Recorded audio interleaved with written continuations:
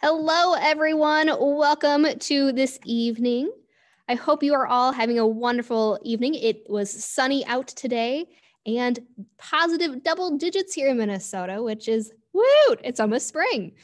Um, but I'm so glad you could join us tonight. Uh, we have a really exciting uh, night planned because yesterday, I'm not quite sure how many of you caught it, was the landing of the Perseverance rover. So that's our topic tonight. But as people are rolling in and joining us, we're going to get a few pointers and tips um, to let you know how best to utilize the, the, Zoom, webinar, the Zoom webinar platform here tonight. Um, and for starting to get, kick that off, I just want to say that as a museum, um, we aim to advance collective understanding of both Earth and sky. And I would like to acknowledge the Bell Museum sits on traditional treaty land of the Dakota people. I would also like to acknowledge the Ojibwe people, traditional keepers of the lands to the north. Uh, Dakota and Ojibwe knowledge systems are crucial ways of knowing this place, now called Minnesota. And we at the Bell honor that knowledge, the values embedded in it, and the people who keep it. Now, questions are my favorite part of the night, so please use the Q&A feature in Zoom to send in your questions, your comments throughout the evening. Our team is behind the scenes monitoring and answering any questions that we can't get to live. So hopefully we'll get to all your questions. Some of them might be typed straight to you. And this event is being live captioned. If you find those captions distracting or not useful, you can hide them by clicking on the live CC button on your screen um, in the Zoom um, window there. But tonight we have um, a really exciting thing happening and we actually even have a really uh, fun guest speaker with us here tonight. So what I'm going to do is I would love to introduce to you uh, one of our friends from the planetarium field, uh, Derek Demeter. He is the director of the Emil Buehler Planetarium down in Seminole State uh, College in Florida. And being in Florida, he has a lot of different opportunities than we have here in uh, Minnesota, at least weather-wise, and then the uh, how close he is to NASA down there as well. So we'll be bringing him on here uh, soon. Um, and so we'll hear some really fun stories coming from Derek um, and and his, his, different view of the sky, his slightly different view of the sky from down in Florida. So pay attention and look forward to him joining us here in a few moments. But we are talking about the night sky. So let's start with our star map. So like always, you can download our star maps from the bellmuseum.umn.edu slash star map. We'll go ahead and put that in the chat throughout the night as well, but you can see uh, the, the link there on your screen. Now, we are gonna focus mostly on Mars tonight. However, there is, it's a nice clear sky out, so there's plenty of other things to see. So if you take your map out, if you download it, um, take it outside, here's what you'd see we have the outer side of our star map here. This is uh, our horizon. So if we, when we see a star that's closer to the outer edge of our star map, that is of course um, closer to uh, the, the ground. But the things that are straight in the middle here, like we'll see Perseus high overhead and the star Algol um, here coming up in the spring skies. Um, that's gonna be straight overhead. That's the zenith, the center of our map. You may also notice that Mars is not in the same spot from January into February here. It is moving. So earlier in January, um, we showed up, uh, Mars showed up closer in Pisces. But then now that we're in February, it is sliding over into Taurus the bull. And so if there's other other things you want to see tonight, please pop them in the Q&A box. We'll get to as many as we can, but we are definitely going to focus on Mars tonight. And before I get too far into it, um, Tad, how are you doing up there on the roof? We'll see. We'll, we'll say hi to our staff members up on the roof running our telescopes for us tonight because it is clear out. So we'll give them a chance to say hi.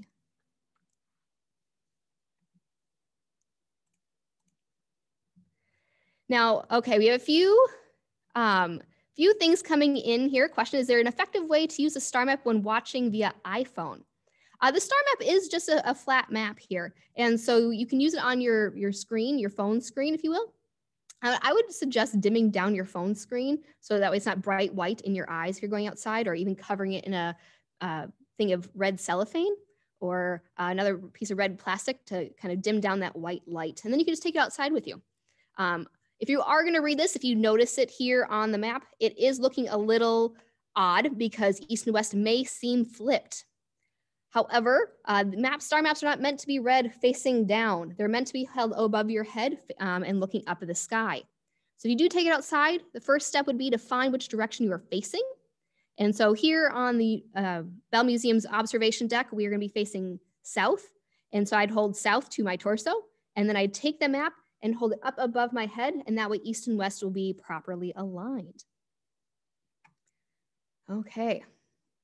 Uh, there are plenty of other apps out there. Um, if you are interested in downloading an app to your phone, whether it, it be an iPhone or, um, or an Android, there are plenty of apps out there. I don't have a particular favorite. So um, try, try some out, see which one works better for you. Okay. Okay, we have a few Mars questions already popping in here. That is great. Um, so one of them, which hopefully we will definitely be able to answer here is how long did it take to fly to Mars? Um, so that's a great one we're gonna put on our to-do list because I'm hoping Derek here, as soon as we can find him in our long list of participants here, he'll be able to step in with us and help answer that. Um, Tad, how are we doing up on the roof deck?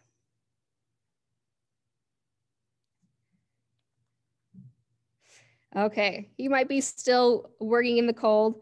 Um, yeah, Tad is still outside trying to get things to work. Okay. Well, Darcy, you want to describe what's happening up on the roof deck to us? Kind of how many scopes do we have up there tonight? Uh, yeah, right now we have two telescopes. Um, one is pointed at the moon, and I'm not sure what Tad has the other one pointing at. Okay.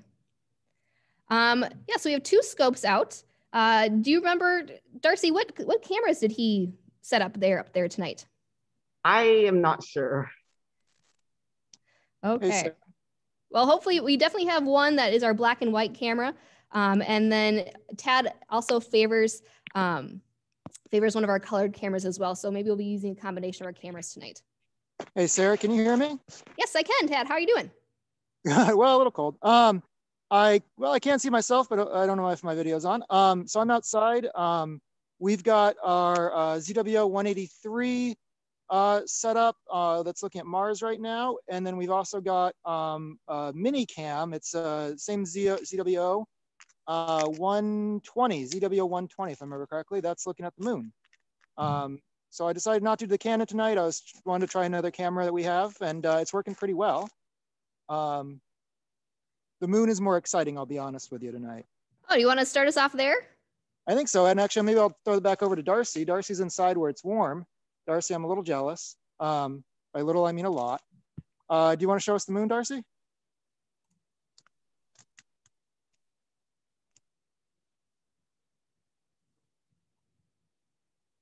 All right, so Darcy's gonna, Darcy's got that view of the moon there and uh, they're gonna be moving around a bit. They're actually controlling the telescope from inside. Um, and we are looking at the moon. We're here at uh, nice, I believe, is this exactly first quarter, Sarah? Did we, did you get the star party time that perfectly? Yep, we're usually pretty close to the first quarter. Excellent. Um, and we're actually a little tilted. I'm gonna, I'm outside, so I'm gonna mess around with this a little bit and see if I can actually um, maybe orient this in a way that people might be a little more familiar with. Because if you go outside, um, you're gonna see the moon and it's probably gonna be looking a little bit more, I'd say a little bit more like that. Does that look a little more familiar to people? Looks a bit more right side up, yeah. Okay. And, uh, and of course, I may have just messed up the camera doing that. So we'll see if that was a, that might have been a dumb idea. Got a little blurry, but we can still see those beautiful craters on the moon tonight. Okay. Um, as we're taking a look at the moon, I do want to introduce um, Derek Demeter. He is joining us now from Florida, where hopefully it is much warmer than it is up here, even though we are in positive double digits tonight. Um, but Derek, go ahead, turn your camera on and um, say hi to everybody. We're so excited to have you here tonight. Thank you. Yeah, unfortunately, it's uh, the says the host has stopped me from sharing my video. So Uh, un- unfortunately, I'm still not able to do that. But hello, everybody. How, how are you today? It's uh, currently we're getting a massive cold front right now. So it is crazy weather right now. It was 86 today, uh, and tomorrow will be a high of 59. So yeah, that's Florida for us in the wintertime for sure. Okay. Well, go ahead and try your camera now. Up oh, there you are. Now There we see you. right. Welcome. Thank you. Yes, yes. Glad to be here. 86 to 59. That's that's a big turn. I mean, um, Yeah, you get used to it being in Florida. You get to and and, and the wind gets in, insane. For us and for astronomy, the winter can be amazing. It could also be horrible because our seeing conditions get really bad after a cold front. But after a day or two, when the atmosphere settles back, you get some amazing, crystal clear seeing conditions. I mean, it looks like there's no atmosphere at all. Um, but uh, unfortunately, we're not there yet. But uh, tomorrow we're supposed to be there, so I'm excited about that. well, good. I hope you have a clear skies this weekend. But you have a very unique perspective coming from Florida and then all your expertise and personal interest in all things NASA. So, Tad, I'm actually going to switch over. I'm going to take the screen control back here. Um, and what, what, what I would like Derek to do is talk about what happened yesterday. What was so, um, what happened yesterday? Share with us. What were you doing? So actually, the funny part is, I was uh, I was in with um, a lot of uh, field trips, virtual field trips yesterday. I was working with a group of uh, third graders from various different elementary schools, and I was getting them excited about this event here. And we actually watched the uh, the the last of my my school groups. We actually got to watch the landing of uh, Perseverance uh, yesterday or around 3:55 my time, Eastern Standard Time. So it'd be what 2:55 your time Yep. um, in in uh, Minneapolis there. Um, in Minnesota, so um, yeah, that was it. Boy, I mean, when you saw everybody cheering and going crazy when it successfully landed, I mean, you couldn't help but smile and just get goosebumps and just you just feel this ecstatic energy just radiating from the from the internet from the digital world directly to to me. So and to everybody else i mean I, it was just incredible um, that we we officially did it right? The nasa officially did it and now we have another scientific mission um, a robot another robot on uh, mars. Yeah, no, I was waiting, as watching it live, and and NASA's gotten really good at this, but nothing's a guarantee uh, when it comes to space travel. So I was kind of holding and, and waiting with bated breath as well to make sure everything worked just right. Um, so a question came in already of how long did it take to fly to Mars? Now, I think you might have a good perspective on this because what were you doing last July? Yeah, so um, we have kind of we're a little bit we have a little bit of a privilege being that we're in Florida where we actually get a chance to go to Kennedy Space Center to actually see these launches close up and personal. And last time uh, we actually got a, um, a chance to, to, to watch this launch. Um, and we were located on the Canaveral Space Force Center now. We got to call it that way. Can't call it the Air Force Station anymore. We got to call it Space Force. Uh, we were there on that side because uh, where the Atlas V rocket launch was actually on the Canaveral side, not on the NASA side, um, because ULA, United Launch Alliance, which is the company that actually builds builds the rockets and stuff like that, they're located at Canaveral uh, Space Force uh, Station. Um, and so we got we set up over on the causeway, which faces less than five miles from the launch site. So what we did is we actually set up a big telescope. We're talking one of those, and I think Tad might. I I, I can't remember. I think you all have a um, a Schmidt, right? A Schmidt telescope that you're Yep. using. So we use an 11 inch model of one of these things. So it's a very large telescope, and we actually attached our cell phone adapter to it and we were doing a Facebook live stream of the launch. And what I have here, if, if you like, I can share my screen. I can Please show do. you the um, the experience that we have now. Just want to let everybody know when you're watching this, you might go, well, these letters are weird. That's because when we're looking through a reflector telescope, just like a mirror, everything is inverted or or, or, or um, are reflected, right? So when you look at the lettering on the on the rocket, it's going to be flipped and all that. So just bear in mind that when you see the video. So I'm going to go ahead and start sharing my screen here. This is actually, I had to go on Facebook to look up the video here. Uh, well, actually, let me just go back. I want to make sure I have the sound enabled because sometimes you don't, it doesn't work. So I have enabled the sound. So you're going to see now, uh, the person that's talking is uh, at the time my uh, my assistant Justin Cirillo. He was our planetarian specialist. He's the one narrating this. And I was actually snapping pictures, still images of the launch. So what I could do um, I, I, I, should have got it uploaded in time, but uh, I do have some snapshots that I took. So maybe after this is over, I can uh, quickly run in my folder and look up those images and um, you'll be able to see that. So I was, I was kind of getting ready for the photos, getting, getting those really nice snapshots. Um, and Justin is, is narrating this. So let me go ahead and play it. So you can get an idea of what we were experiencing, what it's like to be close up to a, a launch like this. Phone here will uh, pick up the rumble of this uh, massive rocket. We are only about, I would say, uh, three miles out from it. So uh, you're, you're getting a great view up goes, close. Here we go.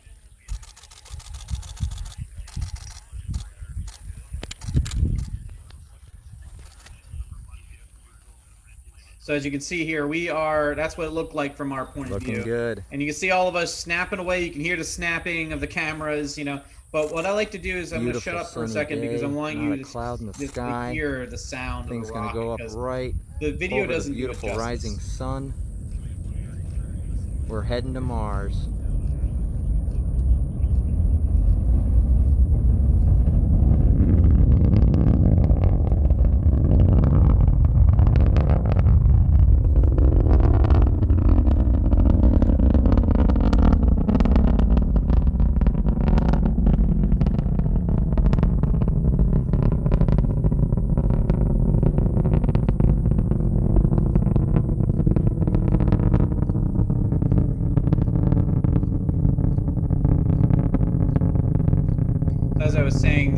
Doesn't the sound on the record isn't justice. It's loud. It's loud and proud and and you can feel you can feel it in your bones and everything. It's, it's a truly remarkable thing. Um, and we'll, we'll stop it here because at that point it's, it's a little too high up. But um, but yeah, so this was uh, July 31st, um, early early morning. Um, and it was already 93 degrees outside, high humidity. So it was muggy, it was buggy, it was hot but it didn't matter because you know we're sending a mission to mars and um, so to the question that we had here so it took about seven months to get there um, and uh, people always ask me why do we need to launch this thing uh, at that time well the uh, Sarah, you probably remember the opposition of Mars, right? The, in September, October, when Mars was at its closest, things were everybody was getting excited about that. Well, a few months before, what we wanted to do is we wanted to shorten the amount of distance it takes for that spacecraft to arrive to Mars. Um, so what we wanted to do is launch the rocket a few months before Mars reaches its closest approach to Earth. So that way, when it if it's on its way, it actually reduces the amount of time and the amount of rocket fuel and all that uh, for for that. And so there was a window of, of time. In fact, actually, um, ULA was having some issues uh, with the rocket and they were delaying it. And if they waited a few more days, I think it was like August 6th or something like that, they waited till after that, they would have missed the window of launch, which meant that they would have to wait a whole nother couple of years to launch Perseverance. So it was a tight, uh, tight launch. Um, and I'm glad that they were actually able to do it. So, yeah. So I, I'm sharing uh, images here we took around opposition last fall of Mars just through our telescopes here. We don't have an 11 inch like you have. We have a couple, uh, a couple of eight inches. We have a few tens, and then a, we our nine and a quarter is one of our workout horses. So these are some images of Mars we took last fall. But it sounds like Tad might have a live image of Mars for us tonight. So I'm going to stop sharing so that way, as soon as they're ready with that, they can pop up and share with us what they see through our scopes upstairs. And as they're doing that, we have another question about another rocket. So we just saw the um, ULA rocket that sent Perseverance to Mars, but that's not going to be the one that sends humans to Mars. So the one that sends humans to Mars is going to be uh, right now they're planning on being the SLS, the Space Launch System. Super creative name, um, but that's in its early stages with the Orion capsule that will get people in or beyond low Earth orbit. And then there's going to be some stops, hopefully along the way, the moon to transfer um, into some other type of capsule that'll finally then send people to Mars. Um, but what what kind of rockets have you had experience watching, Derek? As we're as we're talking about rockets that both launch rovers and humans. Well, real quick, if you don't mind, uh, if, if, I could, if I could share my screen again, um, I'm going to show you uh, a picture of the launch of Perseverance uh, uh that I took while uh, while that that video was happening there. So um, just let me know if I can do that. Um, it says that uh, I have to wait till you stop sharing to to. Start. Okay, I want to give Tad just a moment here to share with what we what we see through our scopes upstairs. Oh, oh absolutely. Okay, yeah, I just realized um, like, oh, that is Mars. Okay, okay, yeah. it's just it, it's amazing how um how much how much in the last couple of months it's changed in terms of size, angular size. I mean, Mars was quite amazing to look at in a telescope during uh, during that time. But um, back to your question, um, I have seen a pretty much. Uh, I've seen the space shuttle launches.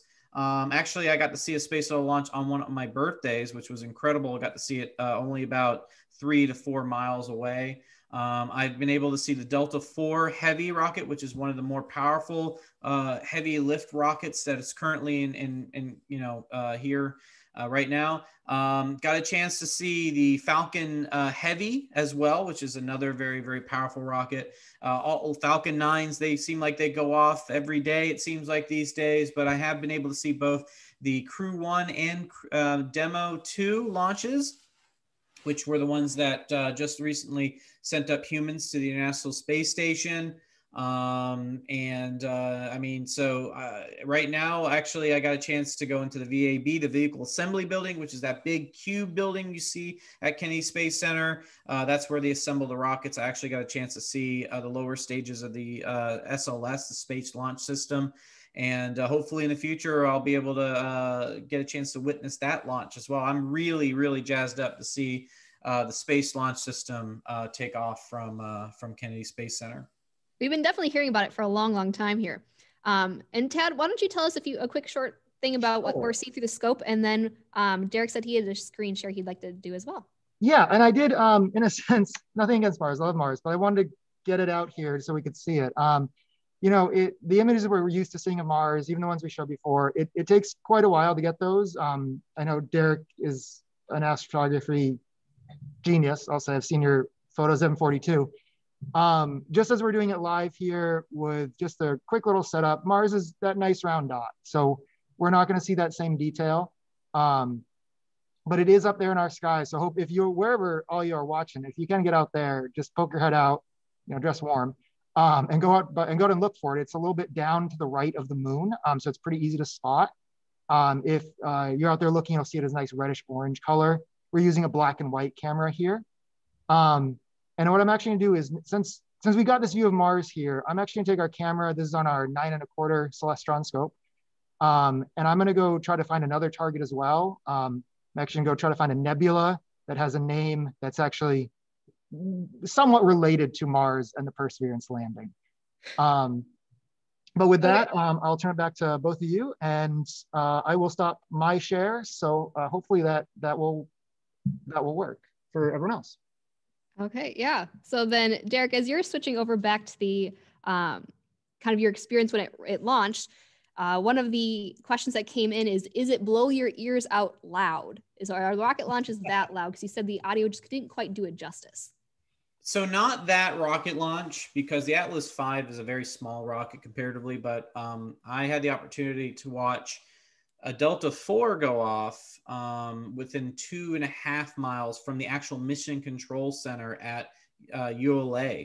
Um, so uh, we were. This was during the Parker Solar uh, or, uh, Parker Solar Probe, the, the satellite that's you know now uh, in orbit of the sun. Um, I had a chance to get that, and we were out, the Perseid meteor shower was happening too, so it was incredible. I had all these politicians behind me, and I got a chance to do a private night sky tour with all these like famous politicians in Florida and other parts. We had the director of KSC there, and it was it was pretty incredible. But um, that launch was, I mean, uh, my ears were ringing after that because it was just, I mean, it was like an earthquake. The ground was shaking. Uh, it was it was in immense, and it was a night launch too. And so, by the way, if you ever come to Florida, and if you had to pick one launch, one launch to see, it's a night launch because you go from you know dark to all of a sudden just the entire horizon becomes this orange glow and it just you didn't all of a sudden you see this massive rocket lift off and get, getting the chance to see that. And and uh, it's it's an, it's a it's, it's a it's quite the experience. So uh, that's some of these rockets can be very loud and I can guarantee you once the SLS goes off that's gonna be uh, that's gonna be quite intense for sure yeah, it, it's going to be one of the, it, it, the most powerful rocket we're building. Um, so it's going to top even the Saturn V.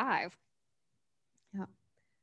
Um, so questions are been coming in. Um, a few people are asking kind of what is the timeline for putting humans on Mars? Kind of is there a projected date?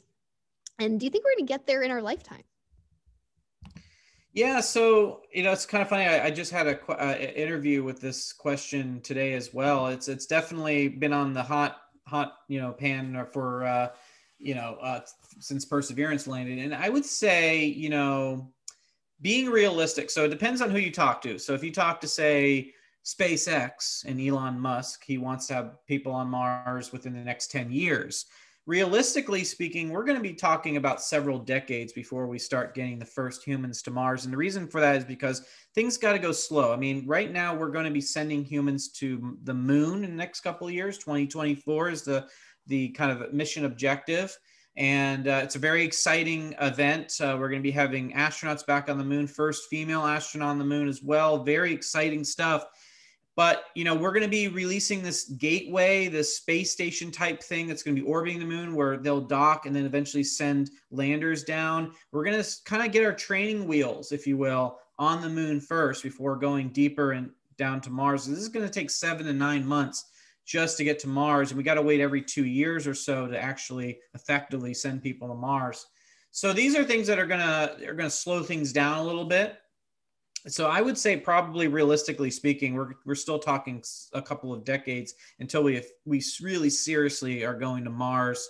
Um, it could be sooner, it could be later, um, but I would probably say it's more realistic. So today I had a group of third graders uh, today, and I like to believe that they are going to be the generation that's going to they're going to be the astronauts. They're going to be the ones the third graders, the fourth graders, the, the, the, that age group uh, or so is going to be what I would believe to be the next generation astronauts that are going to go to Mars.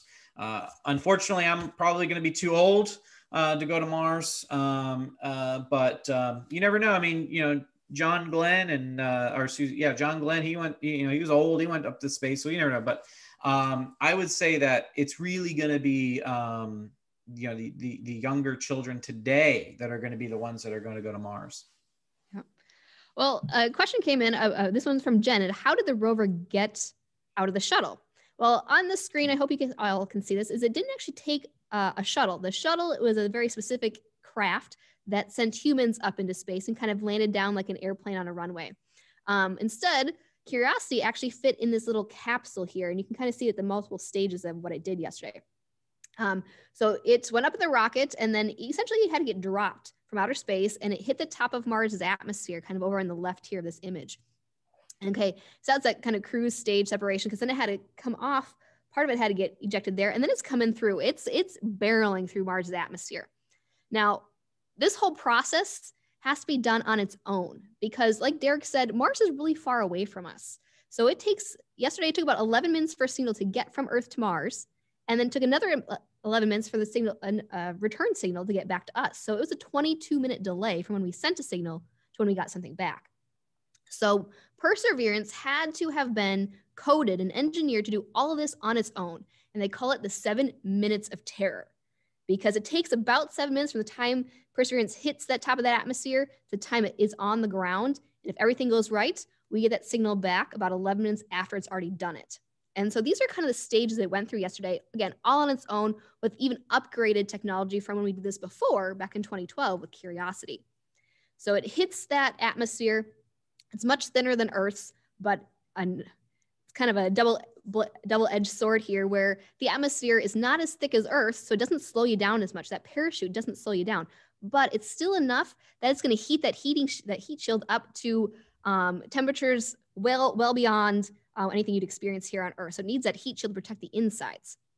But then after it comes through, the heat shield has protected it. The um, we see the parachute deploy, and then that heat shield actually has to kind of get sent away, kind of in the middle of our screen here, because Perseverance is actually sending signals down to the ground, radar signals to figure out where it is and landing, and just so it can land just right. And that parachute, though, because of the thin Mars atmosphere, it doesn't slow it down to zero. It only slows it down to maybe about 200 miles per hour. And so from that, we actually had to cut the parachute off, kind of over um, almost to the right side of our image, where the parachute had to go cut off, and then it came down in a powered descent, kind of on reverse rockets, if you will. And from that powered descent, it finally got lowered to the ground on the sky crane, the sky crane maneuver. So not only did we use parachutes, but we used rockets and we used these big long cables to safely get Perseverance on the ground by itself. And then that very exciting signal that, that came back to us 11 minutes after all this happened um, was what everybody was cheering about yesterday.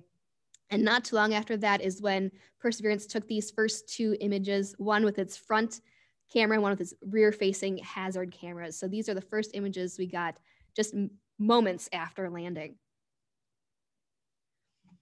So um, that answers Mary's question. Do we have any real pics from Mars? These are real pictures from Mars. Absolutely. Um, how long? So here's one coming in from Chloe. How long will it take for rockets to fly back to Earth from Mars? Okay, well, this is interesting because it does relate to Perseverance. uh, you know, Perseverance is the first stage in this. What what is the goal of sending Perseverance to Mars, Derek? Like, why? What is it going to do? What are some of the exciting things that we're we're looking forward to? Yeah, so the location that we landed Perseverance in is called Jezero Crater, and it's an ancient impact crater that essentially um, it became a, a lake bed. And at one time, this would have been covered in water. And not to, if you look over to the, I don't know if you can use kind of a cursor here, but just off to the top left, you can actually see there's a river. Uh, river area that actually flows down into what we call a alluvial fan or a delta that would have deposited a lot of minerals that would be perfect and right for fossilization. fossilization. And uh, if you can see me here, I have this is a we uh, we attended a, a, a planetarium conference in Missouri, and this is um, this right here is uh, limestone with fossils of shells and corals and stuff like that. Uh, this is about 400 million years old uh, that we I picked up on a, on side of a highway. Yeah, you can actually, in fact, actually, uh, North Minnesota is the Canadian Shield, right? You can find Lake Superior agates and stuff like that. That's about 1.7 billion years old. Um, so you got some really cool geology in Minnesota. Um, and if you go kind of down south Minnesota, you can find some fossils there too. But essentially, the Jezero crater is a right place for possibly finding ancient remnants of either life or traces of life, either byproducts of life, maybe uh, essentially limestone. All it is is decayed um, shells and things like that that have been press, you know, congregated and turned into rock. So if we can find those things in this area, this is one of the best places of of uh, finding life on Mars. Yeah. So one of the great things about Perseverance is it's going to take some of those samples and hopefully find some of those fossils you were talking about.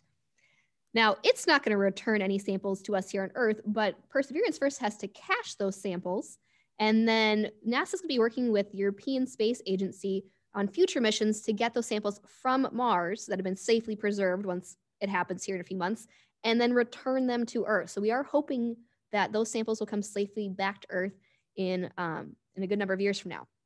Now, it does take nine months, seven to nine months to get from one planet to the other, just because Earth and Mars are orbiting the sun at different speeds. So it's going to be a little while before we see those back here on Earth. Okay, um, we have some more exciting pictures uh, from the mission here. So I'm going to share my, um, my screen again. And it's not only what Perseverance saw, but there are so many orbiters going around Mars right now, is that we were using our other spacecraft to help monitor the landing, what happened yesterday. So for here, this is HiRISE. You can see in the kind of inset image there, it was actually tracking the landing yesterday. So you can see it while it was still attached, um, it looks like to the parachute part of it um, here landing. So I'm gonna kind of squeeze through here or flip through a few of these images that we've gotten back even in the past 24 hours. Um, and in the meantime, let's see if we have any other questions coming in because we have a lot of them, it looks like. Um, so we had two other agencies, global agencies, send some uh, spacecraft to Mars this uh, that also arrived at Mars in the past week or so. Uh, do you have any information or any fun facts for us about who else went to Mars this week, not just NASA? Yeah, so um, the United Arab Emirates um, re, uh, was successful with their HOPE spacecraft. It's going to be an orbiter. Um, its primary mission is to investigate the atmosphere of Mars. So, what it's looking for is um, the Martian atmosphere is slowly decaying.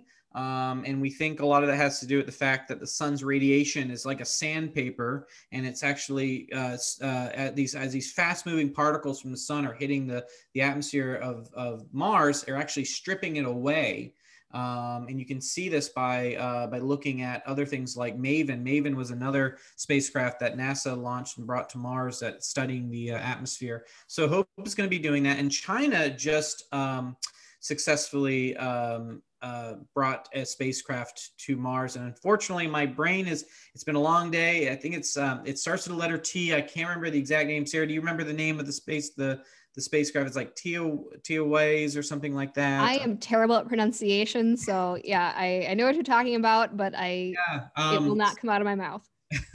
so, that would be the uh, Tianyuan oh. one. Ten, Tien, Tiaven one. It's like a it's a V in the center in the middle. Yes, yeah, yeah. Tiaven one. Yeah, there you go. Thank you, thank you for reminding. Yeah, um, and uh, it's it also has a rover, and uh, we don't know the exact date of when it's going to uh, land, but you know it, it's it, so this is actually a very very exciting uh, time for for Mars. I mean, you know, not only does the United States have a mission, and also the European Space Agency is also working on a rover as well um, that will make its way to Mars too. So again, yeah, Mars is is is is currently going to be inhabited by many robots. it's a planet of robots. okay. Yeah, if anything, we are the robotic invasion of Mars. Um, which is actually brings us to a really cool thing and gets us ready for an at-home activity that you guys could do if you wanted to. So here are some pictures of Perseverance, which is the name of the Mars rover. So there's many types of Mars rovers, or there's many different Mars rovers, um, but this one is specifically called Perseverance. We, la- we um, landed one back in 2012 called Curiosity, um, but we also had Spirit and Opportunity. So somebody had asked what's the difference between a rover and Perseverance. Is one is just the specific name of this particular one that landed yesterday. But um, on board Perseverance is the Ingenuity helicopter. So we can see it over on the left-hand side here on our screens in the lab before it launched, where we have the rover in the upper left image. And underneath, um, attached to it, we have uh, the helicopter. So in the bottom left image, you can kind of see it uh, kind of hiding on the underbelly of Perseverance. Now, what we're going to do here with this is that we are actually going to use this as a technology demonstration. And I say we, I mean NASA, because I don't work for NASA. Um, but Perseverance is going to drop the helicopter on the ground and then it's going to kind of drive away. And they're going to test up to five different flights to see if flying on another planet is possible. Now, we over on the right hand side of this image, we can see that it kind of like has a drone-ish look to it. It has two sets of propellers that each set is about four feet in diameter, if I'm um, remembering correctly. And they actually have to spin very, very, very fast because Mars's atmosphere is so thin that it needs to spin very fast to generate any sort of lift here. And this is just a technology demonstration, meaning if we can get this to work, the next time we send something to Mars, we can have it go scout in regions that our rovers can't go over. They can go out further and kind of be our scouts um, that aren't quite as high up in the sky as our orbiters are. So this is a really, really intriguing um, investigation. But we're going to put uh, a link to the chat in the chat for an at-home activity. And all you need is uh, a piece of paper. You can either download the template here, or um, you can trace it on your own piece of paper. So I'm gonna go ahead, stop sharing, and we're gonna make one, um, I'll show you, show you what we're gonna do. So there is the at home um, in the chat. There is a link that you can click on. And what it's gonna do is it's gonna bring you to a site where you can download um, a worksheet here. And just have two templates per page. Or if you just wanna draw these lines out on any sheet paper you have around, that's really all you need. Um, from there, what you're gonna do is you're gonna cut along the dotted lines here to make our helicopter. So I have one kind of staged out. And I've cut all those dotted lines. And I'm gonna fold these two sections labeled X and Y. I'm gonna fold those back. This is gonna be kind of the body of our helicopter here. And this is gonna give it some stability. Um, this section at the bottom of our template labeled Z, what we're gonna do is we're gonna go ahead and fold that as well. And that'll be the bottom of our helicopter. Now our blades are up here. They're not nearly as large or as many as the Perseverance uh, Ingenuity helicopter here is, but we're gonna go ahead and fold them in opposite directions.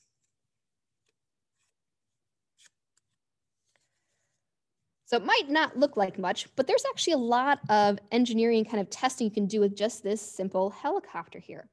So for starters, you can drop it from kind of as far up as you can reach to see how it how well it spins and how well it, it um, rotates here. Um, and one of the things that Ingenuity had to do is rotate those blades really, really quickly to get that lift off of the ground and into the very thin uh, Mars atmosphere. So what you can do once you have your helicopter made is you can test things. Does the length of the body of the helicopter impact how it flies? Can you adjust your blades? Um, maybe if you bend them at different angles at a sharper angle here. Will it rotate faster or slower? What if you flipped them? Will it rotate backwards? And so these are all the types of things that the team building the Ingenuity helicopter had to figure out is, okay, how heavy can we make this? Because sending in a rocket, we need to keep it light. And also we need to keep it light to get it off the ground and lifting. And how do we get those propellers spinning so fast to generate any lift here? And so you can experiment with your own helicopter and see if you can answer some of those questions as well. How many rotations could it, could it make as it uh, goes down to the ground? And there's lots of things you can test that is very similar to what they had to test for building Ingenuity.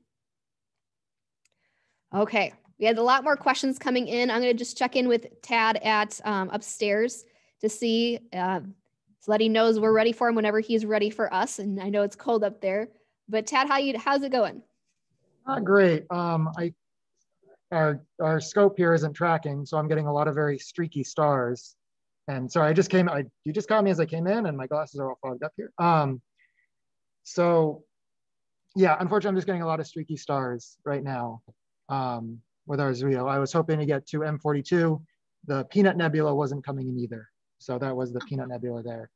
Um, I am happy to say though, uh, for anyone concerned who has been wondering, if you haven't seen it yet, the moon is still out there, don't worry. It's still doing its thing. Um, I'll be honest, I could spend most of the night just looking at the moon. So um, you can feel free to stop this share at any point. Um, but we were showing this earlier, um, and you know it's still the same moon. Um, if you watch it long enough, of course, we'll see a little bit more of it lit up as it keeps going around the Earth there. Um, and you know, as we've been talking all about Mars, um, the moon is really the next stop though for humans. Um, and I apologize if I'm repeating stuff that's already been said. Um, but this is where we need to go next. If we want to get to Mars, we really need the moon as a, as a test bed um, for all these technologies we're building, all the rockets that'll take us there, all the space habitats we'll live in. Uh, the moon is a great proving ground for, for all that. Um, and it's only, you know, a couple days away and a couple days back, which is a lot nicer than, than the seven months, two year journey, full round trip journey from Mars there. Absolutely. Yeah. All right. So well, you, let you us can know. feel free to stop my share at any point. I'll, I'll keep trying to get this thing working, but I'll leave the moon up here for a minute. Okay. Thank you for that. Um, I am going to go ahead and uh, swap things here. So one of the questions that just came in was how is Perseverance powered and how far can it travel? So what have you heard, Derek? How far can it travel in a day? So as far as a day, I, I don't know the exact uh, uh, information right now, but I do know that it's uh, powered by um, nuclear power. It's it's it's actually it doesn't need solar energy like you have with Spirit and Opportunity. It actually uh, works on various different nuclear gen- uh, reactor generators, if you will, uh, that uh, produce all the energy needed for the spacecraft to continue to run. So that which actually has worked really really well because uh, the problem with Spirit and Opportunity, the two rovers that came even before Curiosity. Uh, you know, when there was a lot of dust, Martian dust, they got on the solar panels and made it very difficult uh, uh, to recharge uh, all the electrical power needed to run this the rover. So this really helps the longevity of this of this rover here. But um, I could probably look up that information while uh, you might chat something else but I think it's it, it, it can travel uh, a great distance because of that fact that it has that power generator, um, and the uh, so it's it's uh, it's going to definitely be able to uh, explore a very large extent of that of Jezero crater. Yeah, and we've had a lot of updates to this one since it's, it's modeled after the uh, Curiosity rover. And we're looking at a wheel here of Perseverance. And they've upgraded the wheels because that was one of the things that limited how far uh, Curiosity could go in a day is that it took a lot of wheel damage that they weren't expecting. So we took that information from Curiosity um, and we used it to improve Perseverance here. And if we go back to this other picture, this is what Derek was talking about in the back here. Um, so this is an image of the rover taken from the sky crane as it was landing yesterday.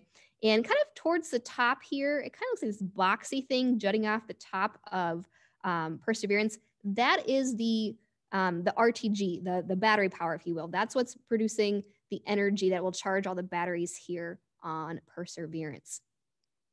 Now, like you, Derek, I can't remember the exact distance that it can travel in a day, but because of the upgrades to the wheels and actually the additions of uh, more cameras than Curiosity has, and the fact that it can actually assess its terrain on its own, where Curiosity couldn't.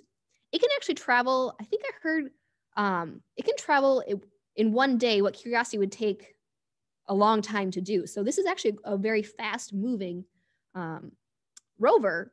Now it's still not gonna be fast. It's not gonna be going 70 miles down the highway anytime soon, but it is much faster than any of our previous rovers because the upgrades, because of that kind of self self-assessing um, detectors and, and sensors that it has on it. So it's going to do a lot of stuff um, on its own as it as it assesses where it is in real time.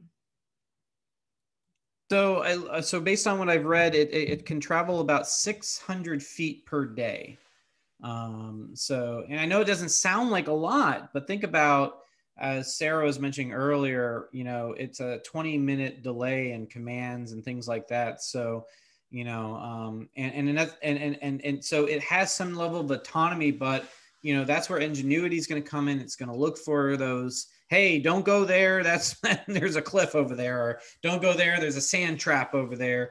Um, so it's actually good that the space the rover is not traveling real fast because if it were traveling at five miles an hour that could potentially lead to it hitting a, a big you know pothole or a big um, rock and completely toast the the wheels. So uh, but 600 feet a day that you know you, you can you can travel a few miles um, over the course of uh, you know a week or so you know um, so, but of course, you know, we don't want to necessarily travel uh, fast anyways. We really want to scrutinize. We really want to pay attention to all that stuff that we might look for. Um, the purpose of uh, perseverance isn't to really cover a lot of ground. The purpose of perseverance is to really look for those.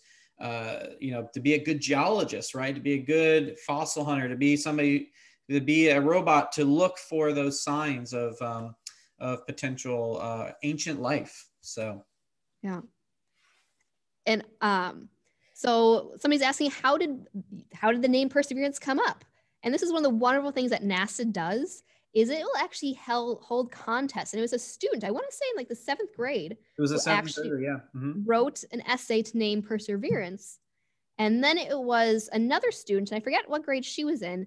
She wrote an essay, and actually her name, Ingenuity, became the name of that helicopter. So it was actually students in middle school who named these spacecraft that landed safely yesterday. I believe they were both seventh graders, actually, I think.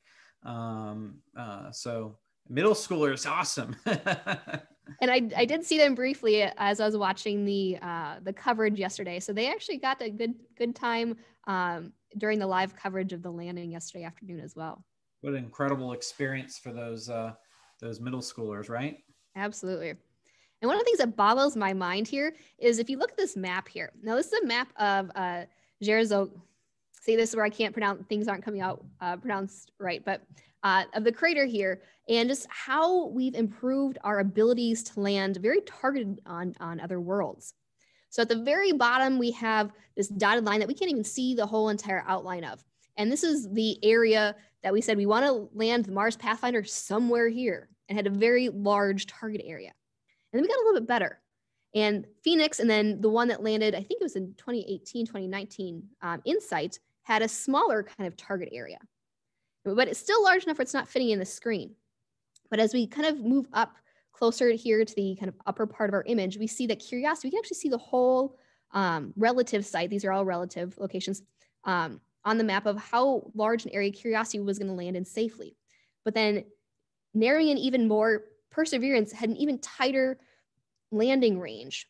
And that's one of the one of the I think mind-boggling, but really really cool engineering tricks about um, what we're able to do with these spacecraft. Is we we can get a very targeted um, landing site here, and it's doing it on its own again. That seven minutes of terror. We have no say in what happens once it hits the top of the atmosphere. Um, so a question came in from uh, Amanda, it looks like. How will Perseverance get back to Earth? It's not going to. It's going to be there. It has a big battery, so it's going to last many, many years on Mars. Curiosity has a battery um, very similar to that of Perseverance, and Curiosity's battery lasts about 50 years, if I'm remembering correctly. Um, but these rovers are meant to stay there. And so in that partnership that we're building and that NASA's working on with the European Space Agency, there's gonna be other missions to go and collect some of the rock samples that Perseverance is gonna take here in the coming months. So Perseverance will stay on Mars, but hopefully those rock samples won't. Uh, Jen's asking, what can the rover do? You talked a little about this, Derek. Um, do you remember how many cameras are on board here? Yeah, there, there's actually several different cameras. There's infrared cameras. Um, there are obviously surveying cameras like we saw when we saw the very first photos. Um, this thing is going to be able to actually use infrared to uh, 24 cameras is the the number. Um, but one of them is my favorite is the one that's able to actually dive down uh, using infrared over 200 feet underneath the surface to look for depositions and things that in the layers uh, where we could potentially see, okay, well, this is, you know, this this could be a great place for taking samples. So uh, it, it, it's it, it is a true laboratory. Um, not only does it have cameras, it has all the chemistry. Um, uh, analyzers. Uh, so when it does take samples, it can it can look at these things. It can it can measure the different uh, material found in, in, in that's in those soil samples, and so it can really know and, and it'll also be able to store those samples and then eventually leave them there for the next mission, which will happen later on, where we'll actually retake the samples and return them back to to Earth. Okay. Another question came in, kind of where in the ellipse that we were looking at Perseverance's landing site. Now there are two different images, so I'm gonna have to flip between them. But if we see here in the Perseverance landing site, the solid line here, kind of in the middle of the screen, we can see it's the end of this river that's winding away kind of right above the words Perseverance landing site. Um, so we can see the delta kind of fanning out as it reaches what would have been an old ancient lake. So if we kind of imagine that, and I'm going to switch images back here, we can see some of that, um, that delta feeding out into the remains of that ancient lake. Um, rise here, you can see that kind of how it was spanning out. And so it landed very precisely. So I don't have it in the same image. I apologize for that. But Perseverance landed very precisely. I did hear on some of the feeds yesterday that one of the um, one of those the mission operators is like, oh, I know where that is. As soon as the the first uh, images came back, they they recognized the rocks. They were scanning this whole region as they were uh, choosing this crater for their landing site. There was the the humans on this mission um, back here on Earth are actually recognizing some of these rocks and some of these features, so they know it precisely where per Perseverance landed in that very tight um, landing zone here. It is quite amazing. I, I, I am I am quite wowed by all of it. Now we have about four minutes left, and we're going to see how many of these remaining questions we get through. So, Derek, are you uh, up for a rapid fire qu uh, question answer period for the next? Oh yes, I mean, I we, I, you know, I as I said, I deal with a lot of different schools all day long, so I love, I love that that you know rapid fire question. So let's do it. Okay. Um. So. Perseverance will be on Mars for a while. Where will Earth and Mars be when the orbits um, when it begins its journey back to Earth. So Perseverance isn't coming back to Earth, but when are uh, when's the next time Earth and Mars will be kind of close together? Well, right now I think the the the the the goal is 2026 is when we want to send the next mission um, to eventually go and receive receive those samples. Um, so th- there's kind of a talk either 2026 as early as 2026 or as late as 2030, but we have to wait every two years to get to that next mission. So uh, the opposition of Mars, where Mars kind of catches up to Earth or Earth catches up to Mars, uh, it happens every two years. So we're gonna have to wait. So those. So right now, obviously, it was 2020 when we launched uh, Perseverance. So the next goal is to get that uh, return mission, those that mission to pick up those samples, pick up and and, and make its way to Earth. So we'll have to wait another two years to do that. So we're talking um, probably till the end of the of the decade before we actually get those samples um, here on Earth. Okay, we've had a few questions coming in about kind of terraforming or humans living on Mars. So, what it, what are the prospects of humans actually living on the surface? What would we need to do to make it a habitable environment? Well, first, that, that's that's way way ahead in the future. That's like science fiction at this point. But what's most likely going to happen is because of the fact that Mars doesn't have a magnetic field, it's getting bombarded by solar radiation all the time, and that's not good for humans. So most likely, the habitats that are going to be developed on Mars for the at least for the first part are going to be underground. They're going to be even in they're going to be lava tubes or caverns or things like that that are underneath the surface because the surface can provide a, a little bit of shielding against that. Um, now, the idea is that we're going to have to we're going to have to make the atmosphere fairly thick. Uh, in order to sustain human life, we need a, a, decent amount of nitrogen, decent amount, you know, most of our atmosphere is nitrogen, and we also have oxygen. Um, it's about 76, you know, 70% nitrogen, you know, 29 or 21% oxygen, uh, you know, 70 or so um, uh, uh, nitrogen. So we're, you know, we, we would have to figure out a way to convert that carbon dioxide that's found in Mars into oxygen. Actually, there's, a, there's an experiment on Mars on the Perseverance called MOXIE and Moxie is actually going to do that. It has this little uh, device that actually is able to take in the carbon dioxide and convert it into oxygen. And this is going to be a very cool uh, technique for uh, providing not only uh, usable air for, for our human explorers, but also as rocket fuel because uh, the rocket fuel we use, uh, you know, in, in, in our rockets can be, you know, oxygen. So uh, liquid oxygen. So this is uh, this is going to be very very exciting. So I think for terraforming, that's something that we're gonna that's going to be happening very very in the future. So, um, you know. Yeah. Okay. So is it true that this rover has microphones, and when can we expect the first audio from Mars?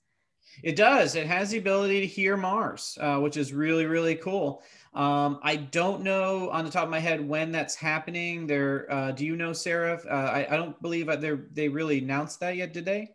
I don't know if they've announced it. I know tomorrow the Mastcam, as we're looking at the image here, that camera that almost looks like the head with a big eyeball on it. Mm. Um, that's one of its main cameras. That is that is I'm going to deploy tomorrow. So that's as far out really as I know. Um, but I don't know when the, the audio is going to. Yeah, they haven't really announced it yet, but it will be at some point, and it'll be amazing when we when we hear some some soundscapes of Mars. Okay. Well, um, and the last one I think we have time for because we're just about nine o'clock here. Is Perseverance ever going to go find Curiosity? Are these two rovers that look almost like twins? Are they ever going to meet up? They are uh, pretty much on the opposite sides of each other in the planet. Um, and because you only travel 600 feet per day, Uh, probably not. No, no, they're not going to ever come in contact with. Or maybe one day when humans get there, maybe we'll be able to build a museum of all these robots on Mars, and we'll be able to go pick them all up and put them in a gallery. So maybe one day they'll all be together for us to see on Mars. We'll have like a national monument on Mars for all these amazing explorers. Okay. Well, it is nine o'clock, and I want to thank you all for joining us. I, really want to send a special thank you to Derek Demeter for joining us this evening and sharing his unique and very special experiences of being at the Perseverance uh, launch last July and sharing his excitement with us from what happened yesterday. So thank you, Derek. We greatly appreciate you being with us, being here with us tonight. You're very welcome. Thank you for having me on, and uh, glad we got to see the moon tonight. That was awesome, and uh, and it's just only the beginning. So uh, keep looking up. Yes. Yep. And you can see Mars. It was that tiny little speck, um, but it is up there. Has kind of a reddish reddish orange hue to it. Um, so I do want to say thank you all for joining us one last time. Star parties and our astronomy programs are made possible by the Ruth and John Huss um, generous and generous do- donors like you. Gifts of any size make a huge impact on our ability to bring programs like this to you in our community. Thank you so much for joining us this evening. One last time, Tad is sending us off here with a share, a screen share of uh, the live view of the moon. Have a wonderful weekend, everybody. Enjoy the positive double digit temperatures outside here in Minnesota.